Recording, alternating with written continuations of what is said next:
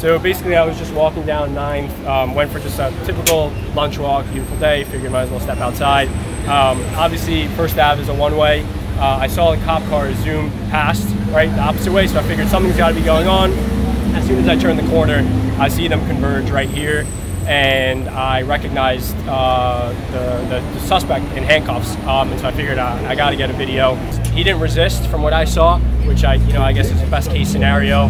Um, there were a lot of cops, but he seemed just very, didn't say anything, um, just, you know, took the handcuffs as it were, and, you know, they escorted him into the car.